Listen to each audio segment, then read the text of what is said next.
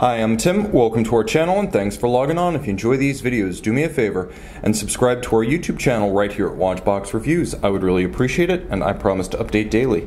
If you love this watch, you could see it and you could purchase it on our website, thewatchbox.com.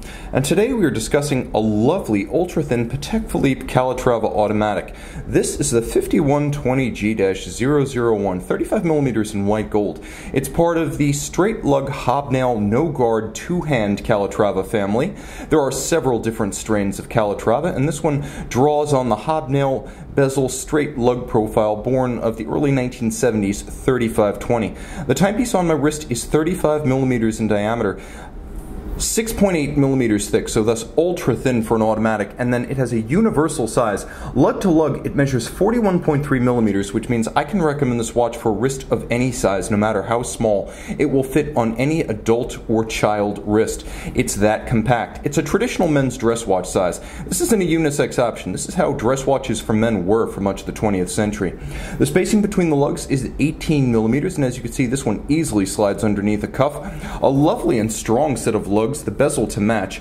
The accessories, like the watch, are ultra thin. We have a medium rectangular scale alligator leather strap, black gloss. You can see sheer side showing the layers of construction with a monotone stitch. On the underside, a more conventional calf skin. There are pull tab Quick release spring bars so you can easily remove the strap without using any tools and risking your skill against the finish of the lugs. You have a Patek Philippe white gold high polish spade style pin buckle and then we roll back to the case and you can see it is very simple. You have the welded lugs with all evidence of the weld joint removed by hand. This is a hand finished case. Uh, rather strong vertical high polished case band and you can see that the lugs are broken out rather remarkably as they have an ethereal grace to them. This is truly beautiful case construction and a study in minimalism. There is a pyramid style double road hobnail about the bezel, and that stretches all the way around. There is a crown with a simple Calatrava cross logo atop, and then a two hand dial. It is a matte white with stylized Roman numerals, including a watchmaker's Roman numeral 4, simple baton style hands in black, and there is a paucity of printing, all of four words on this dial. I like it. I like it even better on the reverse side, where there is considerable detail. For those who always believe that more detail, more nuance, more finishing is better, well, there's the reverse side of this case. This is caliber 240 since 1977, Patek Philippe's upscale automatic. Compared to the center rotors, it is thinner. It also gives you the convenience of an automatic with the broad caseback vista, everything visible that you get with a manual wind, as the rotor itself is in the same plane as all the other bridges, and it allows the watch to be far thinner than a center rotor automatic would be.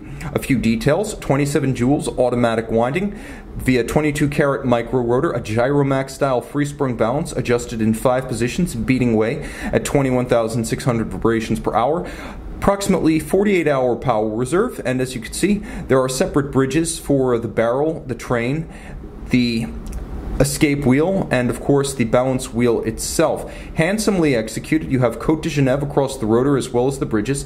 You have black polished screw heads. All screw heads are black polished and with their slots and their circumference chamfered.